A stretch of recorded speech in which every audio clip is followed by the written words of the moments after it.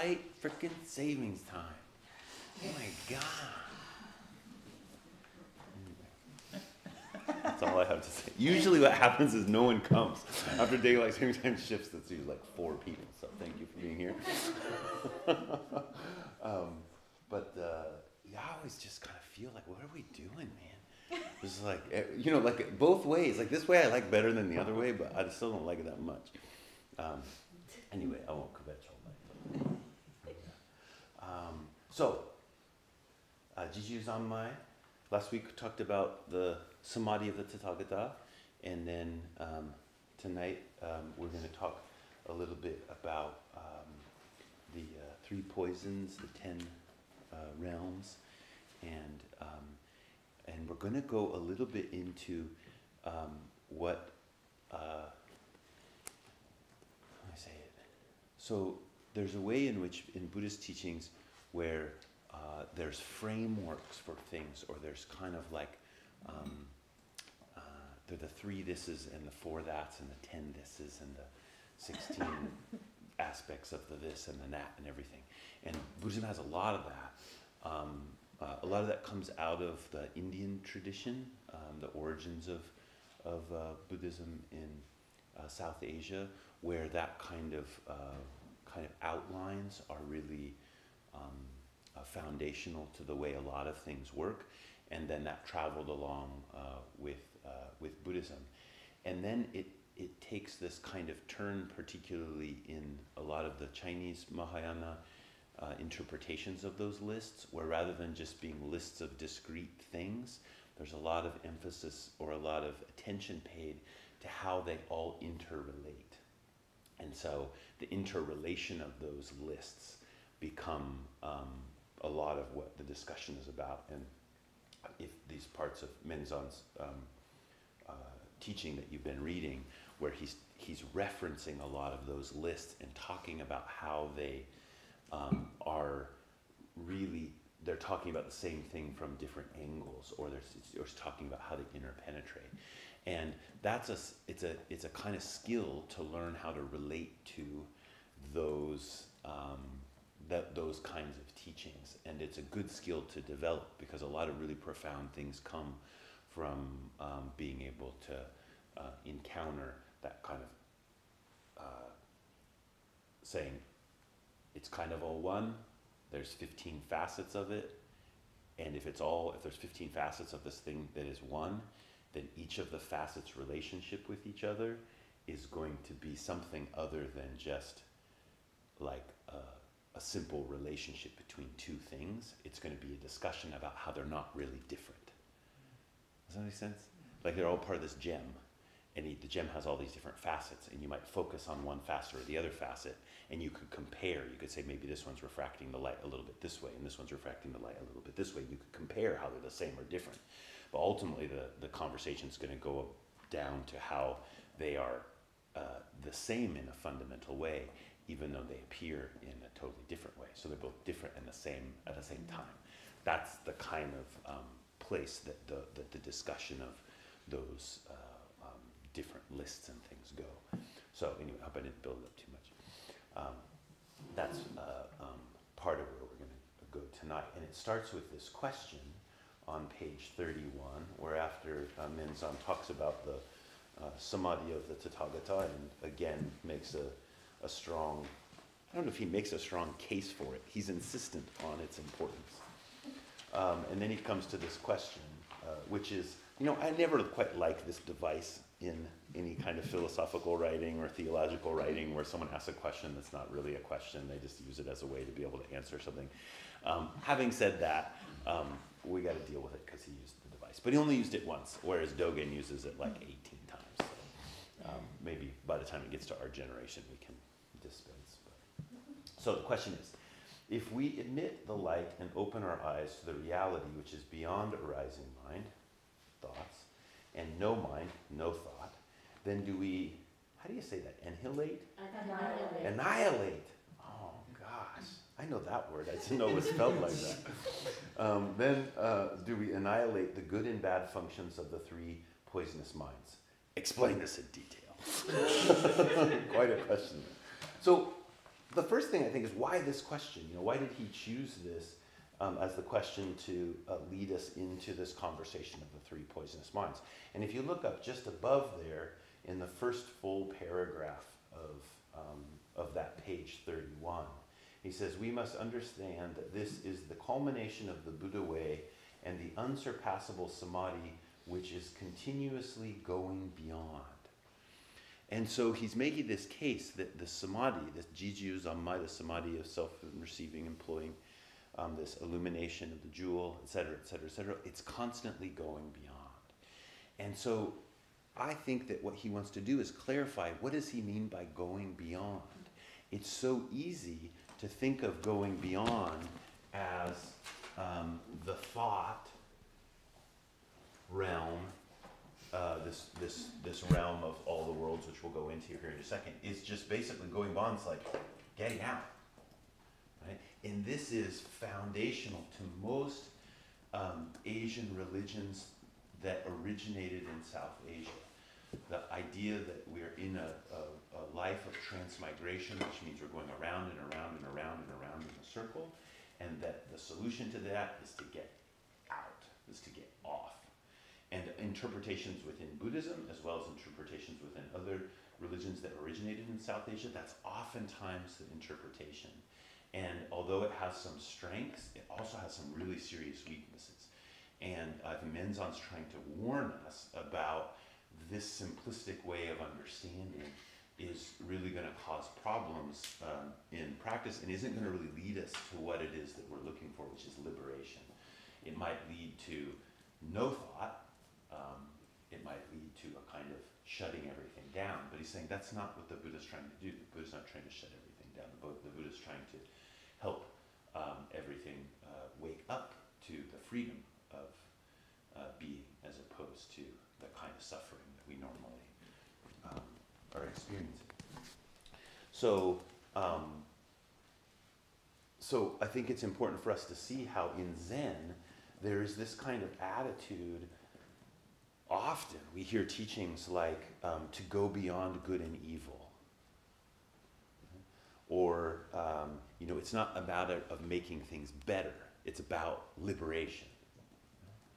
Now, I think those are really good teachings. I say those things, um, and I believe those things, and I'm happy when I hear those things. But I think oftentimes those very kind of true, important pointers are um, mistaken. They're mistaken as a kind of dismissal that to say go beyond good and evil means like, oh, any notion of good and evil is just stupid, and we should just uh, uh, be free by not worrying about good and evil and just doing whatever we want. That's not what it means. It means that if we're trapped in good and evil, um, we're still within this samsaric cycle, and there's some other possibility, which is different than just being kind of. Uh,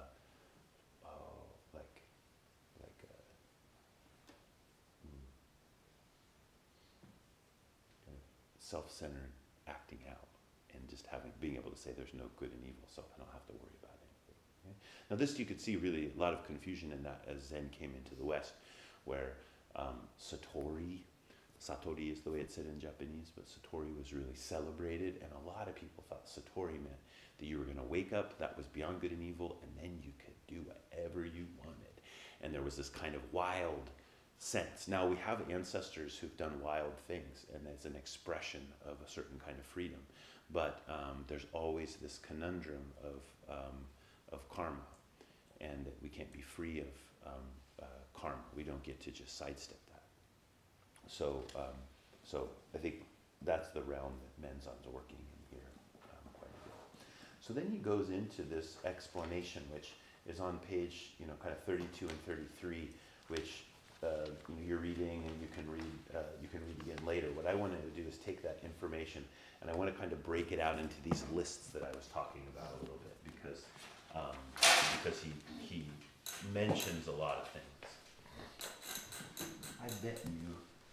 Why do I feel like kind? Can you guys see? Yeah. Okay. Let me try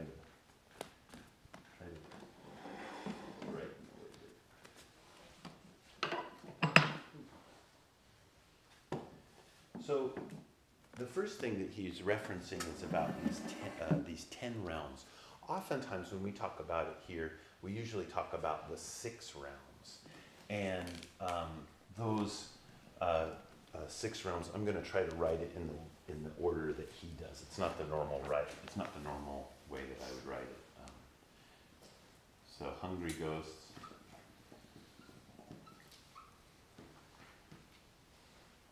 Hell. Animals. Human. Ashuras. And devas. Gods. So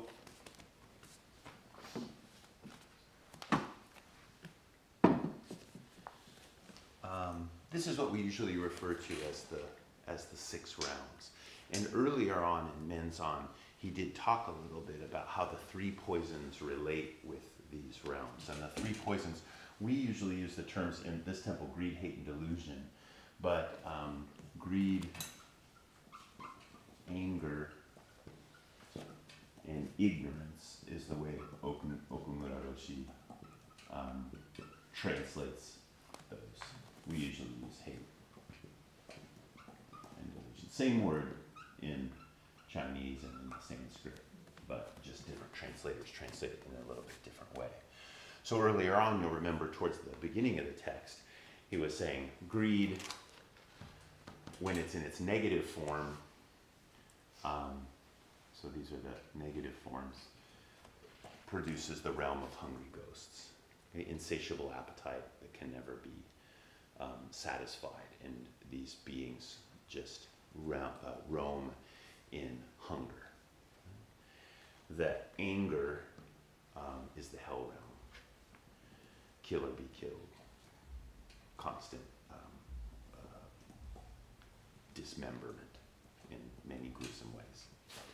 And ignorance leads to the realm of animals. So, kind of instinctual life, no seeing of a possibility for there to be some other way.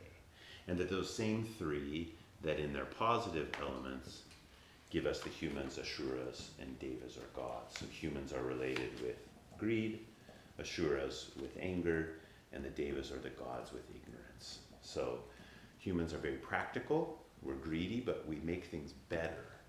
That's our big, that's a thing that we do. And that's good, basically, he's saying. That's a positive aspect of greed. Um, it's not liberated, but it's a positive aspect of greed. Ashuras use the same hate or the anger to um, express what is true, and oftentimes like what is um, necessary or what is just. And the devas or gods um, live in a state of, um, of uh, contentment, but it's a forgetful contentment. Right? So again, these are all positive, um, but they're still based in the three poisons. So this is the way we usually talk about it, the six realms. But there's four more, and the four more go beyond that transmigration realm, and they're the um, they're the Shravakas and the Pratyeka Buddhas. Sorry, this is getting smaller. And we've talked about those earlier because he brings those up a lot. These collectively are known as the two vehicles. And in Mahayana Buddhism, they're a punching bag, um, generally speaking. They're, they represent two approaches to the Dharma, which Menzan r- really emphasizes expressing this way, are trying to get out of this. They're trying to get out of this wheel right, of, of this transmigration. And so what they do is they reject all of it and they try to dry up all of the greed, hate, and delusion which fuels this process. The Shravakas do it by listening to the teachings of the Buddha, Shakyamuni, and trying to implement them in a process of drying up all of their passions and so that they become arhats. That's the path of the Shravaka. The Pratyeka Buddhas are sometimes called isolated Buddhas or solitary Buddhas. They're beings who have woken up through keen observation and oftentimes they're talked about as following the 12 link chain of dependent origination. And through a deep understanding of the 12 link chain of dependent origination, they're able to escape this, but they just escape it. They don't get liberated. That would be the Mahayana perspective. They're isolated, and they, and as such, they can't really help other beings um, because they're just in a kind of isolated. They've solved the problem in a way, but they've solved it in an isolated way. So those are the seventh and eighth, and then you have the bodhisattvas and Buddhas. So at this level, the ninth and the tenth, then we start talking about liberation, right? where this whole kit and caboodle is what the practice is about. Um, this is so. This is one of those lists. Uh, those ten. So um, I'll just mention this briefly for those of you who have studied this before, but it's um, it's a little. It, uh, Menzan is one of those people. This oftentimes happens from very very prolific writers. Is he's an organizer of thoughts, and so he's going to try to organize as many things into this as possible. Any of you have read commentary by Fazang in China? He is like the godfather of godfathers of this. And I think Menzan is uh, kind of in that same path where he's trying to reconcile all of these different teachings, and they do it through this kind of matrix. So he also mentions in there the way in which the three poisons give rise to the three worlds of uh, sense desire, form, and no form.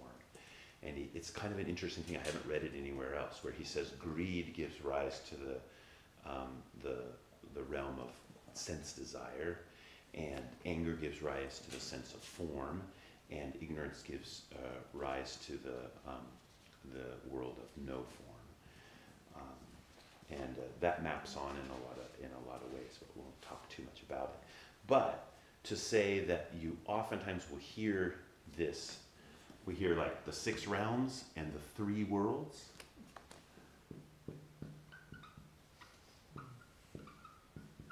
The three worlds, these are said to be all within the realm of the three worlds, and that's the realm of form, no form, and sense desire. But almost always, in, at least in Soto Zen Buddhism, when you hear the word three worlds, you will hear three worlds are one mind. And this is what uh, Dogen goes to, or uh, Menzan goes to right away. He says that um, all of these realms are simply the functioning of one mind. Right? And so to try to escape it uh, not the point. Trying to escape it just turns it just turns into taking refuge in no thought, right? Is is the translation. So if this greed, anger, and ignorance is thought, right? That if we're trying to just get away from this transmigration, which is all based in greed, uh, anger, and ignorance, we'll just do this thing, which the Shravakas and Pratyekabuddhas think of as enlightenment, but it's really just escape. And that escape is totally conditioned by greed, anger, and ignorance. It's a fear of greed, anger, and ignorance, which leads to this escape. So the escape is, is still, it's still based in a rejection. If it's based in a rejection, then it's conditioned. If it's conditioned, it's not um, completely free. That's the kind of theology uh, that's happening there. So this escape, you'll hear, you'll hear him talking about it as no thought. He says, they just take refuge in uh, no thought, and that refuge in no thought, thought is just basically the same thing as taking refuge in thought. It's conditioned in exactly the same way. It's just the, it's just the transverse uh, of it. So when I first read this, um, you know, I was like, okay, okay, all this, you know, ideas organized. That that can be helpful in some ways. Helps me remember it.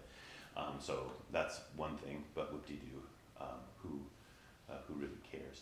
I think the parts of it that were meaningful to me, and you'll have your own things that are meaningful to you, and they'll come out of it. The first was on this layer of seeing that greed, anger, and ignorance are not bad in the way that I'm conditioned to think of things as bad and good. So I hear greed, anger, and ignorance, or greed, hate, delusion. I'm like, bad. How do I get it out of me? How do I get it away? How do I escape from it? That's going to be the mark of something that's that's uh, that that's the path, and that's how I'll know the path because I'm less greedy, less hateful. I'm not as deluded. And um, that has a has a role to play, it's very very limited, and especially just on the level of most people who are kind of spiritually inclined. I mean, no one forces you to come to temple on Thursday night um, other than your own um, sense of what you want to do with your life. And you could be your biggest kind of, um, you know, finger wagger at, your, at yourself. Um, and that's one of the biggest problems in our, our spiritual lives, is that we're, um, we're kind of both whipping ourselves and thinking of ourselves as a kind of superior being at the same time. And um, this really directly challenges. It says, yeah, you're deluded. Thank God. Yeah, and then from that place, something is possible. This goes back to the donkey staring in the well, the, that poem that, um, that I was so excited about a few, a few weeks ago.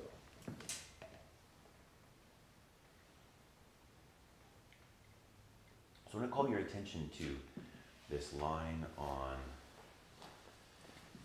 it's the last few lines, page 32, in the first full paragraph, the only full, full paragraph, that starts there in the middle of the page. It says, The three poisonous minds are arise within the functions of one mind. Okay, that's what I was, I was saying. If we go to the end of that paragraph, three lines up, he says, They call this depart from life and death. Okay, he's talking about the, the uh, um, the Pratyeka Buddhas and the Shravakas. But this is not the same as being free from life and death, as is the emancipation of the Tathagata. So that's what he's talking about here. The difference between trying to be free from life and death. This is this transmigration here is the shorthand for it is life and death, which is the way that samsara is written in Chinese. Samsara means cyclical existence, and in Chinese you just write the characters for life and death. So he's saying that uh, that uh, being um, uh, uh what were the terms he uses here? Um, escaping the departure. Okay, so he's saying this departure. I use the word escape. Right, is not the same as freedom from life and death. Or I would go so far as to say freedom as life and death, because that's what the Bodhisattva's path is about. Right? It's not a rejection of these worlds, it's a freedom that is right there as those worlds or in those worlds. Um, it's not going someplace else. And this is really core to the Mahayana in general, but particularly to, to, um, to Zen teaching.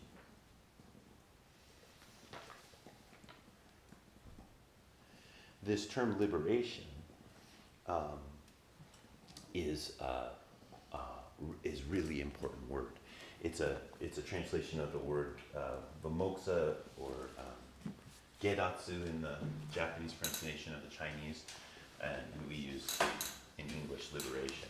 But to think about that word as a kind of technical Buddhist word, I think is, um, is important because it, we start building an idea of what we're talking about with liberation is not just being an escape from, right? It's not just a freedom from, but a freedom to. You see the difference in that language there? I'm always escaping on the freedom from. I don't, it's hard to understand the freedom to, the freedom to do something. And that's more um, what we're trying to um, focus on. Now this can all go back, I've made it as a list, we can also go back to the circle that I keep um, drawing each class and talking about it as the, as the mirror which reflects everything. Classical iconography greed, hate, and delusion are here. And then the negative realms here animals, hell realm, hungry ghosts, humans, asuras, and um, divine beings. This kind of people have seen this iconography before. So I'm just kind of telling you, reminding of you what it's like. And if you remember, this this mirror gets held by.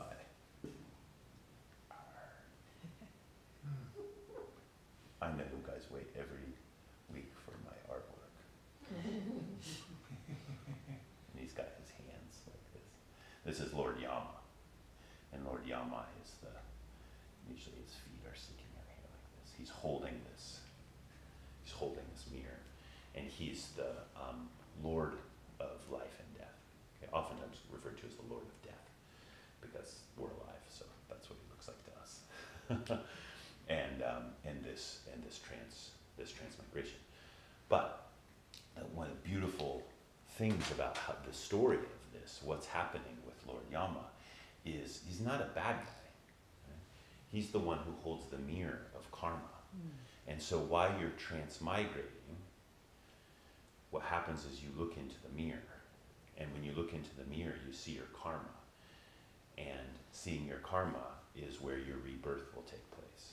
Right? If we think about that in the term of like the lifespan of a human, and then our physical body dies, and there's a, there's a continuation of the life into other lives, um, that's one way to understand it. You know, your physical body dies, and you travel with other parts of your bodies, and you meet this um, uh, this Lord Yama, and the mirror is your karma, and you show up in another place. Okumura Roshi in his notes emphasizes that we can also understand all these realms as he says psychological states, which I don't like all that much, but you know it's probably fine. Um, and uh, that is that it's immediate experience that we're transmigrating all the time. We don't have to die to transmigrate. We are in a total process of transmigration all the time, and the world's a mirror. So guess what? When you're looking around, uh, you're you're not just seeing what is, you're seeing uh, karma. And so this then sets up the possibility of what it is to practice where delusion and um, awakening are not divided. That what you experience as a moment to moment concrete reality is diluted, um, but it's also, that's all it is. It's not a problem, it's not hindered. And so we can practice right there with, with uh, amidst that delusion, or we can even say, set up that delusion as practice, as we do with our body um, in Zazen.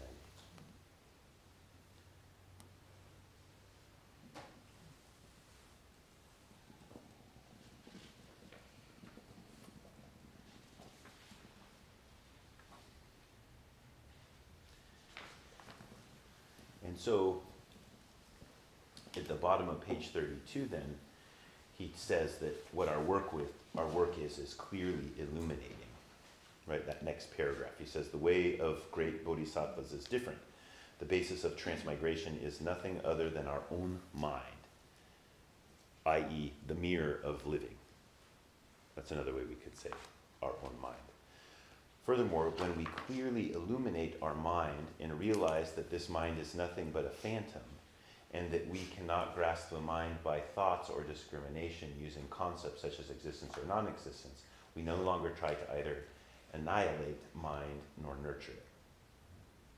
So, this term clearly illuminate, um, you, you know, uh, many of you will be familiar with that term as um, uh, Avalokiteshvara Bodhisattva, clearly seeing that all five aggregates are empty, thus relieved all suffering.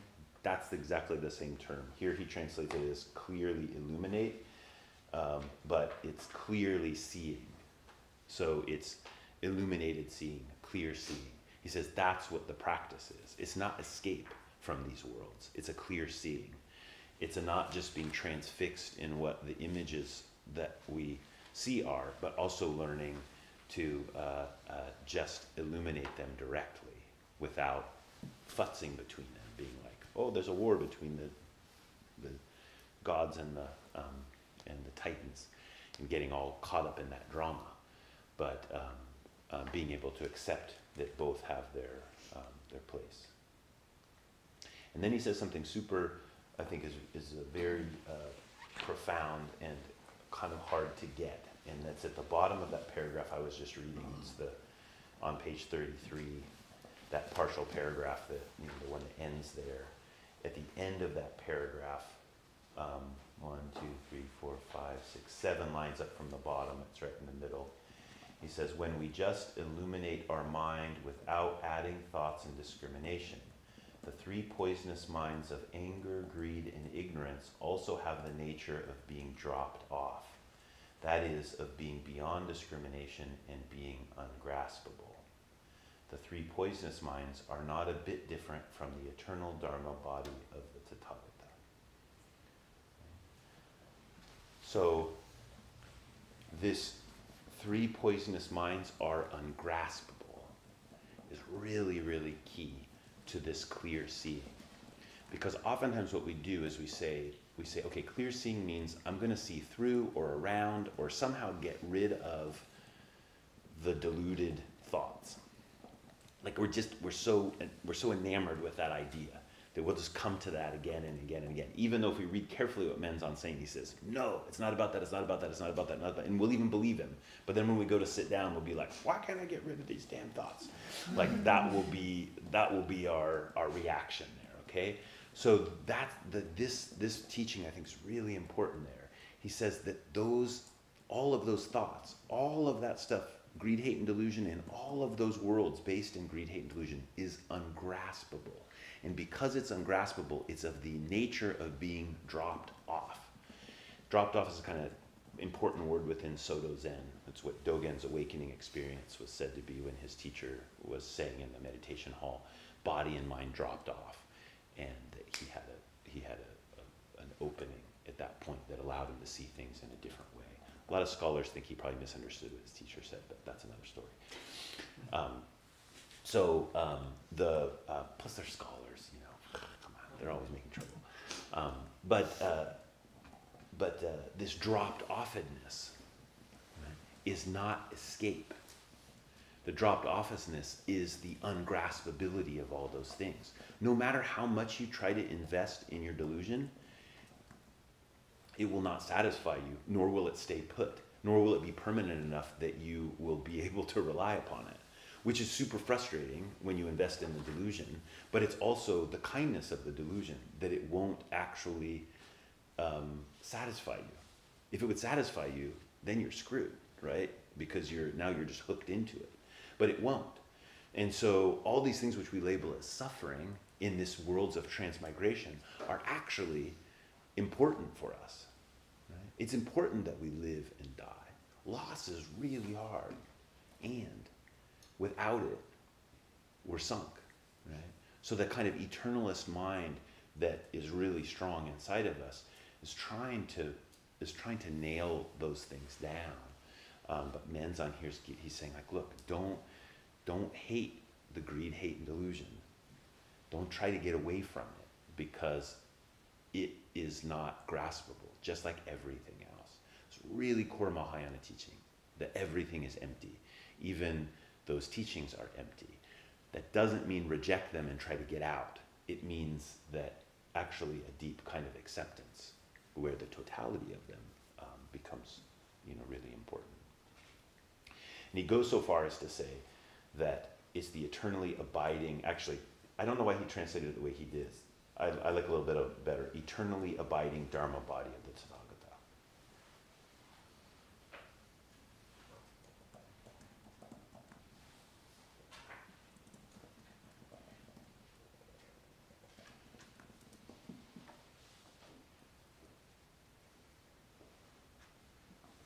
So then this next paragraph, I just want to read the thing. He says, When we thoroughly realize that the three poisonous minds are nothing but the eternal Dharma body of the Tathagata, it becomes obvious that all sentient beings transmigrating in the six realms also have the nature of this eternal Dharma body and lack nothing.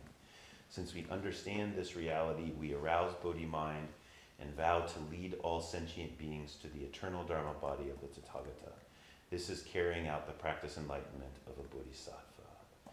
So, waking up to this uh, dropped offenness, the clear seeing of the, um, of the poisons, changes our aspiration. And that's the very thing he said on the bottom of page 31. He says the problem with the Pratyeka and the Shravakas is their, their aspiration is off.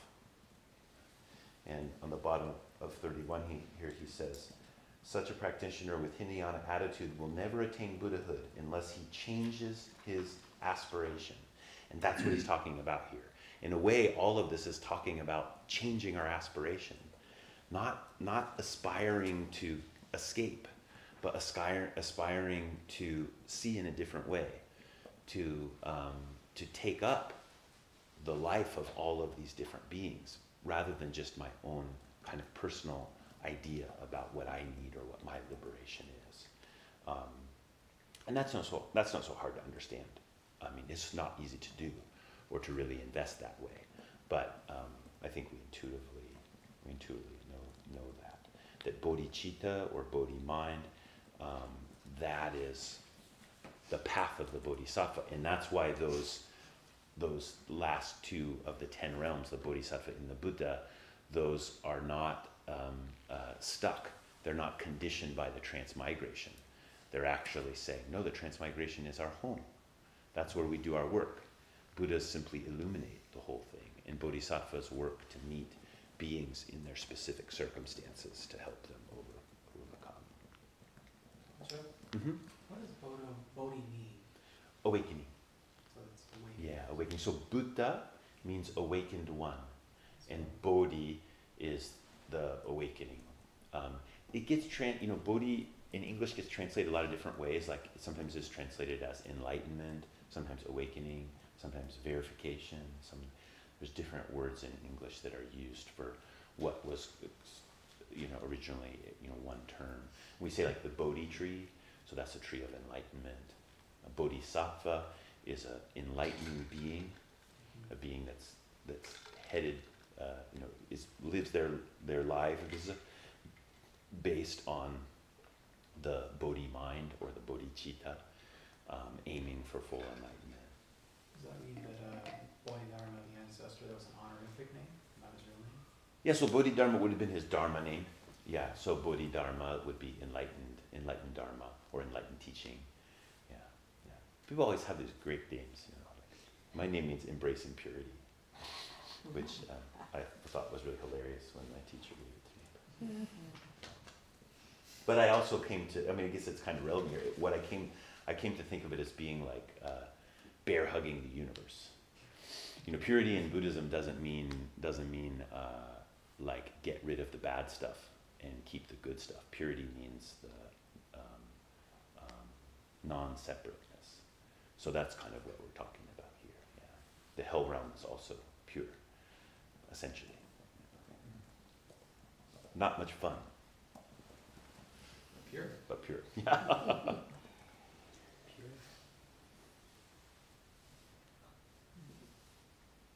So, you guys want to now have some real fun? I, I promised you lists of interpenetrating dharma. We've barely gotten there, but we have one.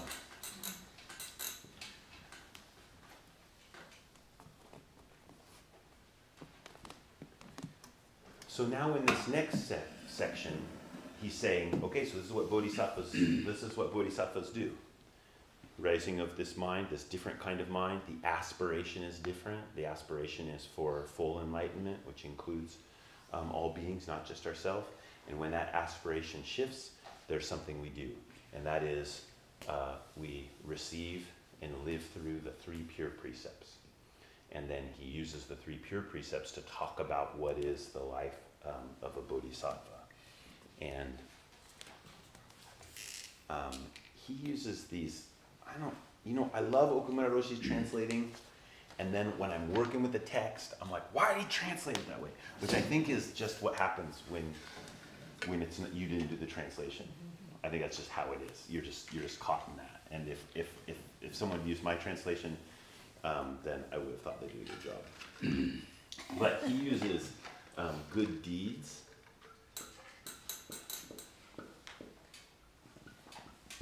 Um, keeping precepts. This is his way. I mean, he uses more language, but I don't want to write it all, all up, all up here.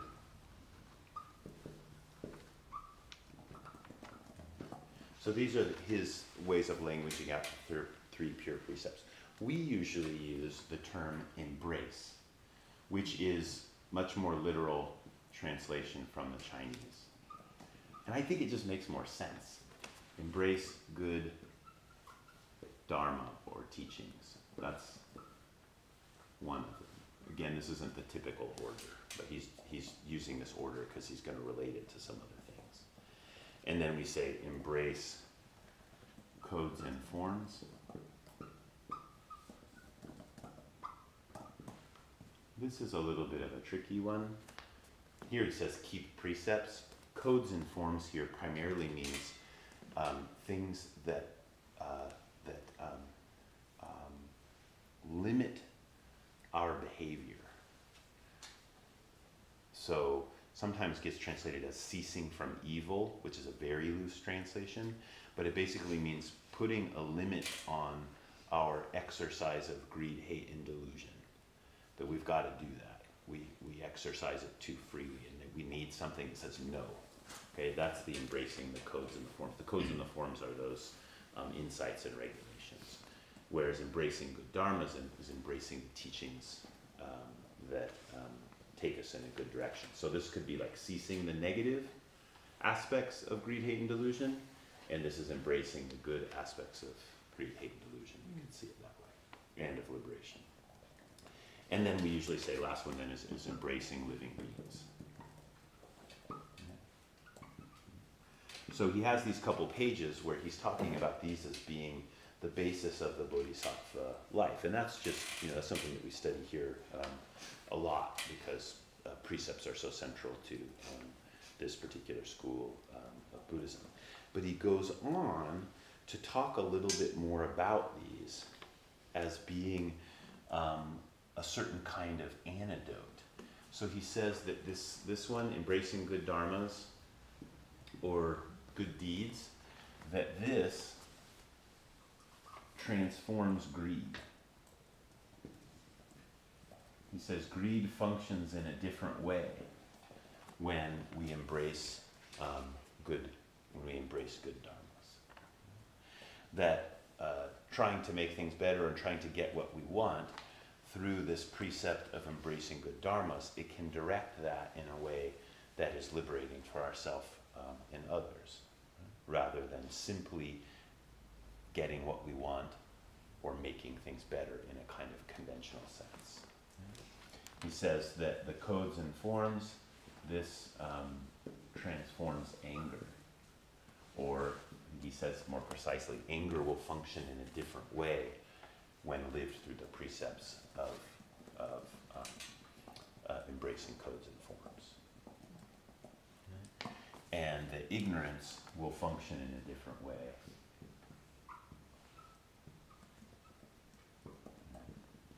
um, when uh, uh, we live through the um, precept of embracing living beings.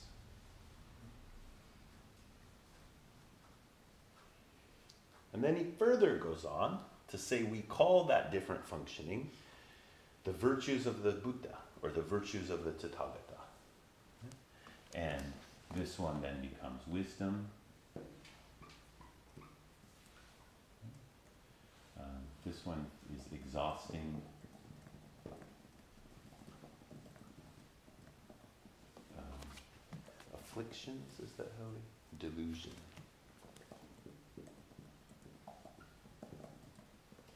This one is compassion. So these are virtues of of Buddhas.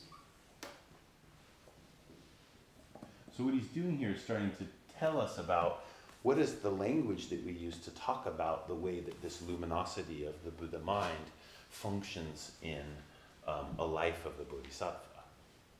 It's actually functioning through uh, us, and it gets it gets played out as greed, anger, and ignorance um, in a diluted way. But it also the precepts can allow that same that same greed, anger, and delusion to transform as wisdom, exhausting of delusion, and compassion, and that that's what we call the path. So that if we simply get rid of these things, or we think what we're going to do is get rid of greed, hate, and delusion, no path really appears. Not the path of the bodhisattva, anyway, because we don't have any way to really uh, function there. And so this this kind of way of relating, you know, we have three different things here. We have the the the guidelines of a bodhisattva life, which he's summarizing as the three pure precepts. Notice these aren't these aren't um, behavioral restrictions. That's not how they're formulated. The three pure precepts. When you get to the ten grave precepts, that's like don't kill, don't steal, don't steal, etc., etc. So, um, but but here, that's not what the precepts are about, and that's that's a big thing. Oftentimes, people think of precepts as only being like, you know, don't do this, don't do this, don't do this, don't do this. But in a tradition, the precepts, the bodhisattva precepts, particularly the, pur- the pure precepts, are sending us in a, a, way of living. It's a way of talking about the path. So he has those, but he's saying that these things are necessary for them to function, and that they can function as these things. And then he takes one more step, which mostly is just bewildering, and he talks about the Buddha body.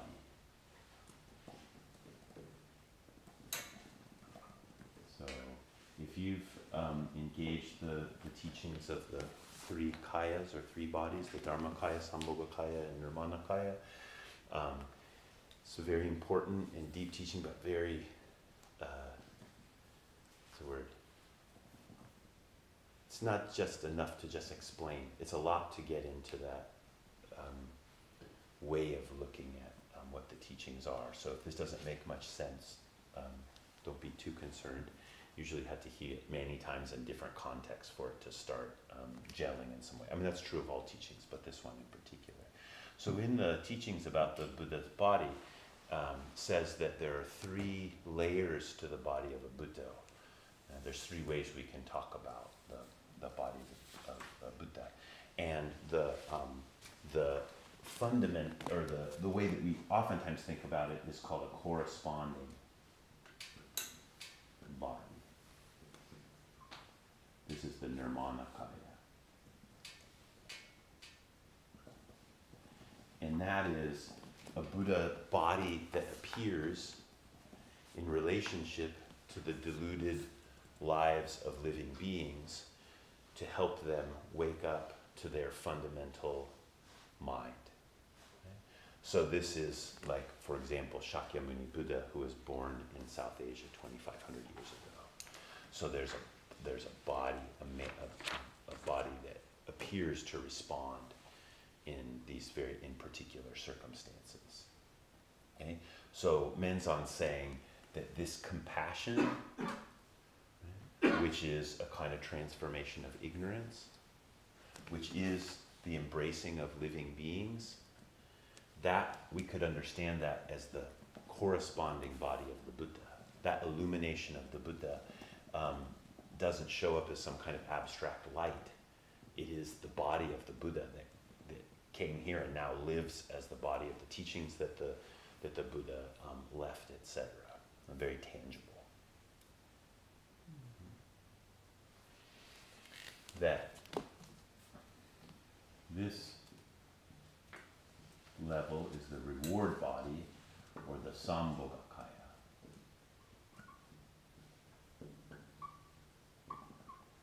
And this is the body of the Buddha that is in, um, uh, uh, it's called the reward body, sometimes the bliss body, because it's the body of the Buddha which is just in perfect illumination.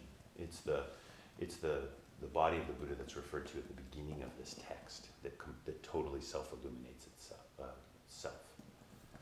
Um, and that this, um, um, this body also teaches beings but doesn't appear in these kind of specific circumstances in the same way, but appears as um, truths that are um, not bound in those particular circumstances. So, for example, traditional way of talking about a teaching like the Lotus Sutra is that the Lotus Sutra is taught by a Sambhogakaya Buddha. So we don't try to understand the Buddha in that sutra as the Nirmanakaya Buddha that lived in South Asia at that time, but it is it's another body.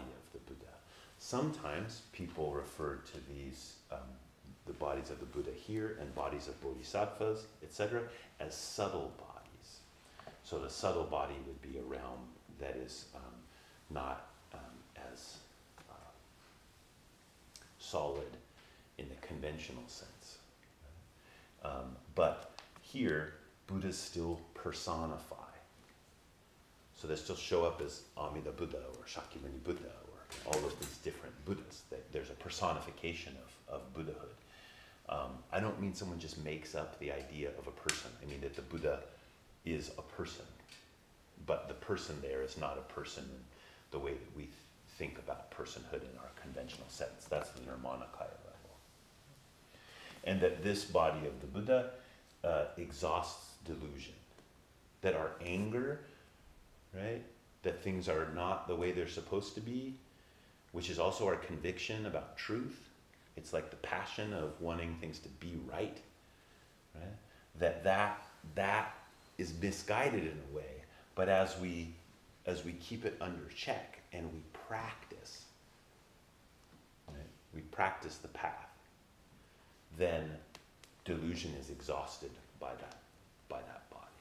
That's what uh, Menzan's presenting here. And that then the the um, how did he translate truth? Oh, he just said dharma. Sometimes people will say the truth body or the dharma kaya. Kaya means body. The dharma body. And this is the Buddha that has no shape or color and um, is everything. Is also the eternally abiding Dharma body of the Tathagata, which he references in a, a number of places. And that this body is the body of wisdom.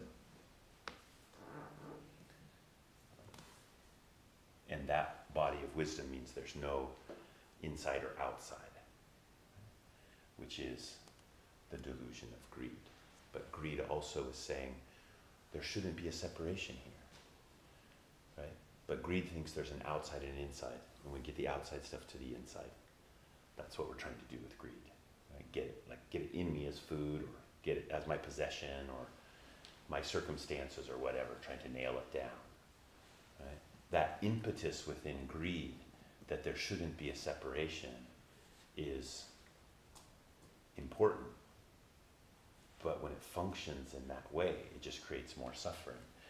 Um, as it's as it's lived through the embracing of good dharmas, then the wisdom functioning of it is that there never was any separation. There is only the Dharmakaya. There's only the truth body of the Buddha everywhere.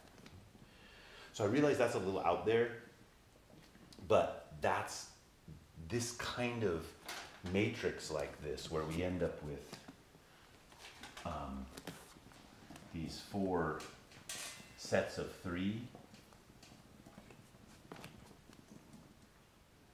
when you see things like that um, showing up in the teachings or they're pointed out by a teacher, um, uh, in particularly in a text like this, they exist to help us start thinking about something in another way because we tend to isolate these different notions. And in their isolation, we're not quite sure how they function. But more than isolating, we tend to oppose them, right? So we oppose greed, anger, and ignorance, which is the reason he's putting it here specifically is we greed, anger, and ignorance get opposed to these bodies of the Buddha. They get opposed to the virtues of the Buddha. They get opposed to this. And we think that keeping these precepts means getting rid of greed, anger, anger, and delusion. And he's saying that's um, um, that's the mistake.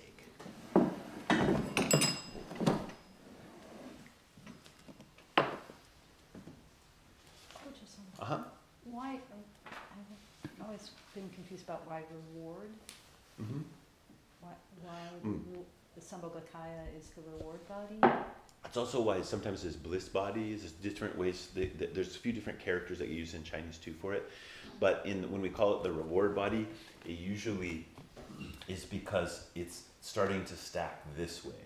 That the practice of a Buddha um, in the kind of more uh, uh, manifest way um, has uh, a body of reward which develops from that. So sometimes we'll say that the practice and the Nirmanakaya level um, develops the body of bliss, which is a reward body. So I think that's where the term that's where the term will, uh, would come from. It also sometimes is referred to as a um, a response body, which is different than the corresponding body. It's a kind of teaching teaching body of the um, of the Buddha.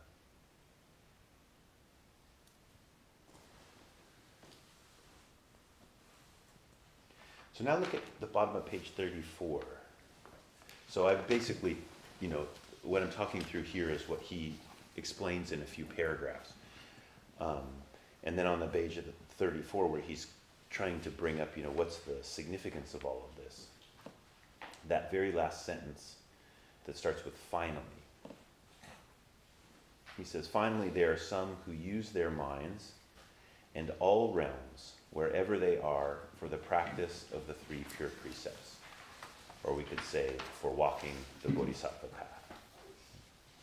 So, see how different that is from escaping from transmigration.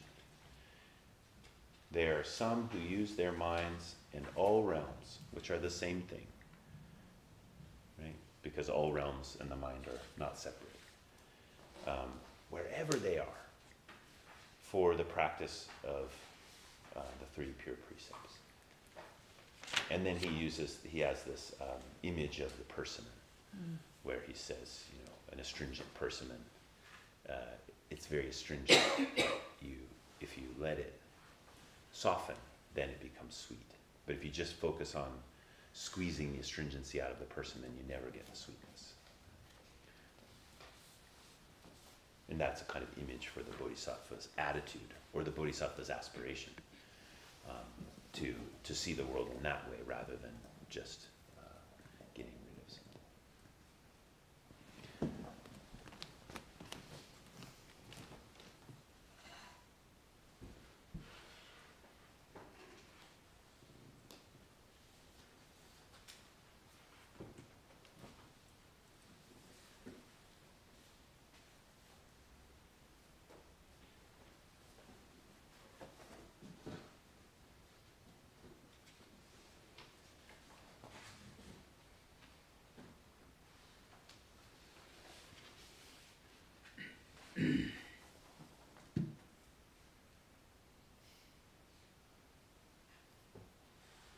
I know I put it in here.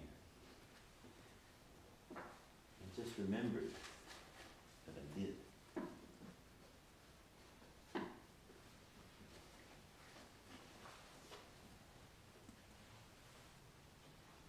Hmm. You have a flashlight? A phone flashlight?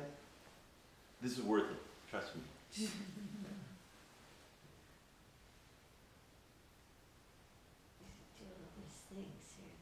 Whoa, look at that.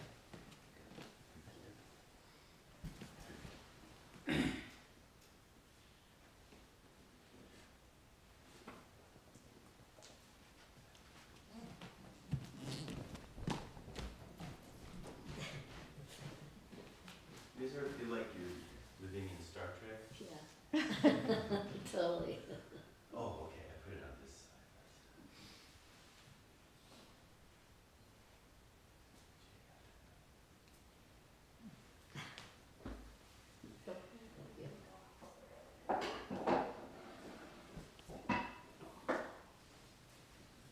This is a thangka, which is a, um, in Tibetan, um, tradition, as I, style of iconography.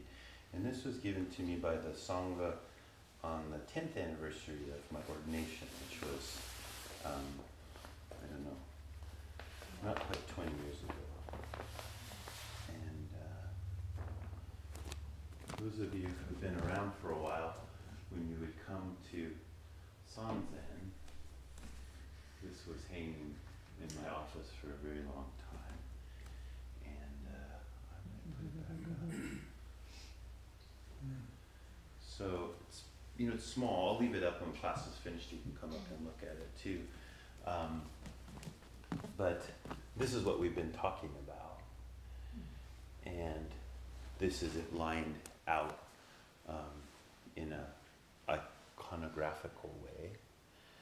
Here in the middle are the three poisons, which are symbolized by the pig and the snake and the and a, um, a chicken or a rooster. And then there's the negative karmic movements and the positive karmic movements. And then these are the six realms of transmigration.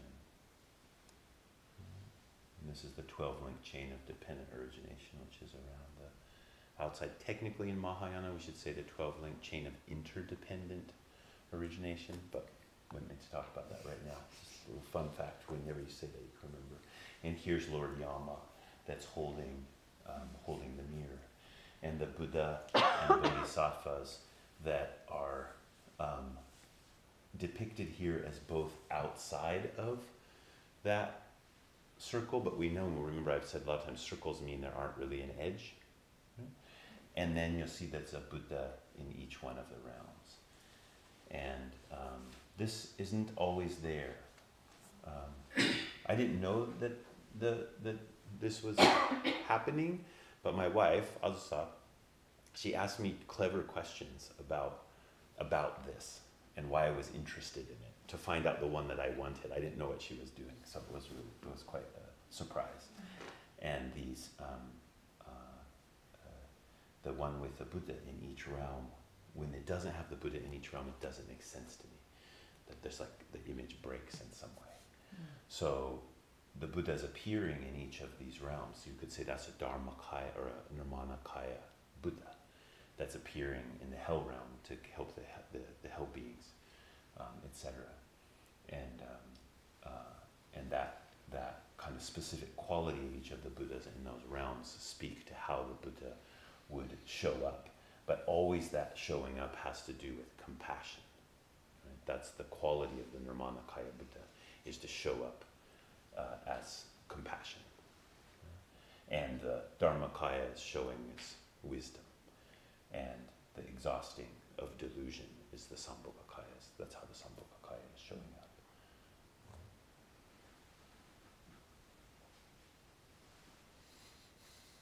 Which was so different than, you know, I was kind of grew up spiritually to try to be good. And, um, but I couldn't be because I had original sin. Which has its own, I don't mean to uh, degrade that, but just say that's a very different circular way of thinking about things than the general way that um, I thought of. Another interesting thing to think about that is it is transmigration. So, um, did how many? I'm sure some of you must have gone to. It was many years ago at the U of O. They had a Hell Scroll exhibit. You, a few, people here, and um, um, the Chinese uh, very um, um, interesting and old paintings about hell was also very common in Japan. The hell scrolls were really important. I think part of it was just like, you know, horror movies are interesting to people. And so that was a certain level of it was kind of entertainment. And, and I don't know about in China, but in Japan, these hell scrolls would travel around. So there would be these you know, gruesome depictions of hell, and they would travel from temple to temple, and people would come from all around to see, to see these hell um, scrolls. And um, so they had this exhibit of those and some other uh, some other things exhibited at the same time. But the um, Hell Scroll, if you looked at it, one of the if you looked at them, one of the things that um, so different than the hell that I grew up with was there's an entrance and an exit. So and then there are the administrators of hell. Lord Yama in this kind of iconography looks kind of like a beast, but in the Chinese iconography looks like a bureaucrat. which at first blush you're like, well, yeah, that seems like hell to me. Um, but actually, the meaning of that is that it's not. It's like, look, there's an order to this. There's a law. There's a way in which this plays out. Your karma is like a system of regulations that are not human-made regulations, but are a fundamental law. And so Lord Yama's not a bad guy, in the court of the of the, the kings of, of hell are not bad. They're just the administrators of karma, basically. And so you would see, you know, the, the, the order of the thing, there are those you, you, people coming in front of these panels, and then they're being led away into different qualities of hell, different, different functions of hell.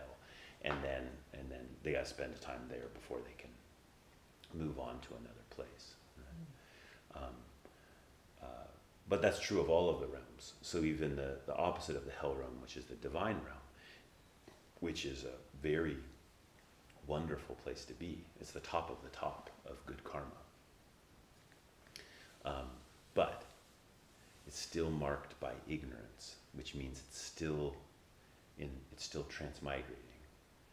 And so that transmigration means that those divine beings, even though they may be there for kalpas, unfathomable lengths of time, they tend towards the disembodied and the forgetting of suffering. So this you can find in the story of the Buddha, for example, that the Buddha's last incarnation, the Buddha Shakyamuni's last incarnation before appearing in our world, was an incarnation in the Tushita heaven, which is uh, a heaven of complete contentment. And it's said that all Buddhas, that's that they they they have their their uh, second to last incarnation there. My theory about that is they need to rest up. and they need to know that um, actually the saving of beings is not an accomplishment. Like they need to know of the contentment of that. This is just my conjecture my feeling about it. So that they can come into the presence of the world not trying to push things around. Because if they try to push things around, that they, they can't really accomplish Buddhahood. Um, so, uh, so a lot of beautiful stories there. That's why we say that uh, that is the place that the Shakyamuni Buddha learned many things. And in the Segaki ceremony we just had a couple of weeks ago, um, that's where he learns from Avalokiteshvara about what it means to feed hungry ghosts, right?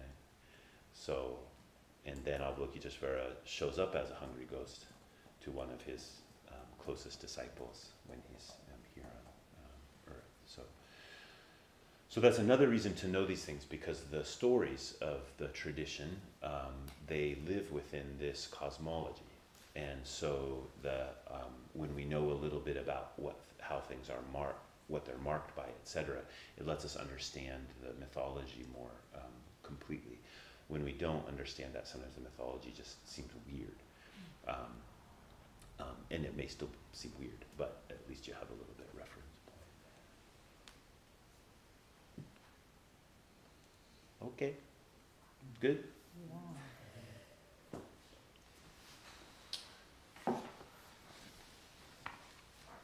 So next week will be the last class, and we will do everything else.